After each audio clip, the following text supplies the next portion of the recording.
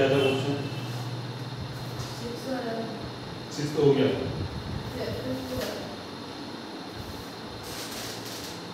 Fifth हुआ था?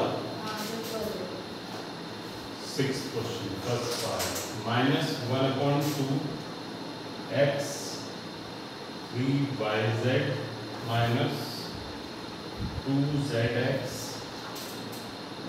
plus one upon three y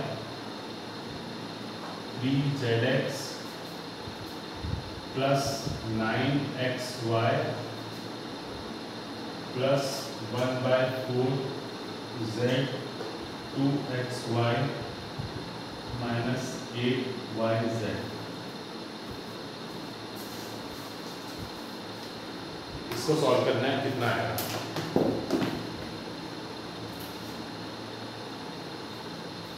bracket के बाद minus one point two x है पहले अंदर जाके सबसे मल्टीप्लाई होगा तो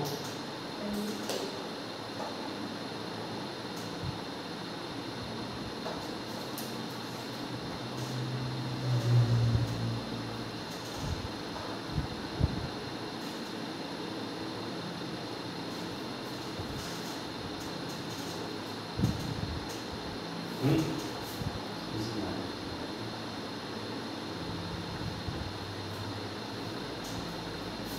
Plus one by three by जो है बी जेड एक्स से मल्टीप्लाई होगा प्लस वन बाय थ्री जो है वो नाइन एक्स वाई से मल्टीप्लाई होगा plus one upon four z two x y से, और plus one upon four z जो है वो माइनस एट वाई जेड से मल्टीप्लाई होगा। ठीक है?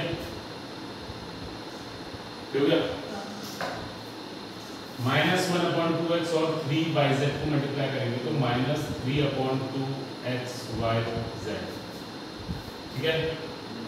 Minus one upon two x और minus two z x multiply होगा तो टू से टू कैंसिल हो जाएगा, माइनस और माइनस प्लस हो जाएगा, एक्स स्क्वायर जेड हो जाएगा।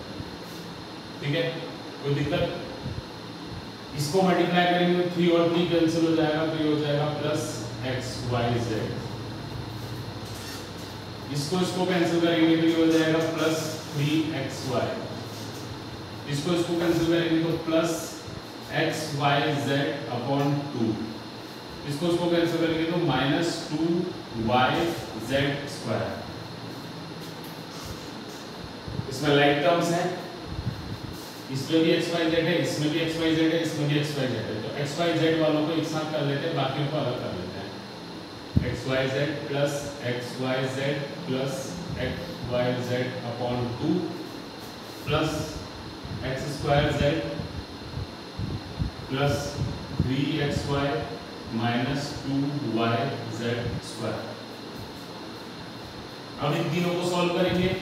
इसके नीचे टू है, इसके नीचे टू है, इसके नीचे कुछ नहीं है, इसको एलसीएम ले लेते हैं, इसके नीचे कुछ नहीं है तो उसके नीचे वन है एलसीएम आएगा टू टू की टेबल में टू वन बार one into minus three x y z इसके नीचे कुछ नहीं है तो इसके नीचे वन है। वन की टेबल में टू टू बार जाएगा। Two into x y z two x y z plus two की टेबल में टू वन बार one into x y z x y z plus x square z plus three x y minus two y z square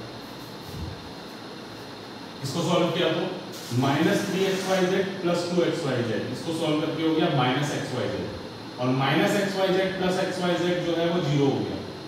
तो zero upon to zero हो गया। तो answer हो गया इसका। बाकी बचा हुआ पार्ट जो है वो। Three x y minus two y z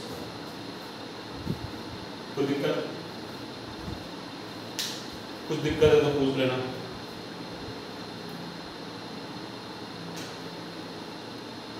ठीक है?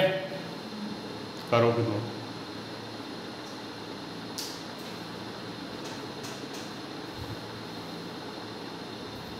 भैया वो अपॉन टू कौन सा पॉइंट ये वाला। Minus three x y z plus two x y z कितना हुआ? Minus x y z?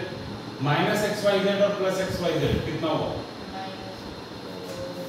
Minus x y z plus x y z. Upon two था plus minus minus one x y z minus one x y z कितना हुआ? X Y Z क्यों हुआ? X minus x कितना होता? Zero तो minus x Y Z और plus x y z zero हो गया। तो ये हो गया zero upon two zero upon two क्या होता है? ज़ीरो ही तो होता है। ज़ीरो होता है तो ये वाला टर्म जो है पूरा खत्म हो गया। बाकी बचा हुआ जो था वो आंसर हो गया। ठीक है? करो